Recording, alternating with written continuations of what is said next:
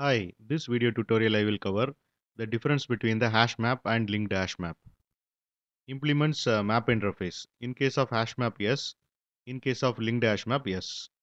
Not synchronized and subject to race condition if shared between multiple threads without proper synchronization. In case of hash map, yes. In case of linked hash map, yes. Iterator returned is uh, fail fast in nature. In case of hash map, yes. In case of linked hash map, yes. Allows one null key and many null values. In case of hash map, yes. In case of linked hash map, yes. Allow duplicate keys. In case of hash map, no. In case of linked hash map, no. Maintains uh, insertion order of keys. Order in which uh, keys are inserted. In case of hash map, no. In case of linked hash map, yes. Requires less memory. In case of hash map, yes. In case of uh, linked hash map, no. Hash map requires less memory than linked hash map, but linked hash map requires more memory than hash map because linked hash map maintains insertion order of keys. Better performance.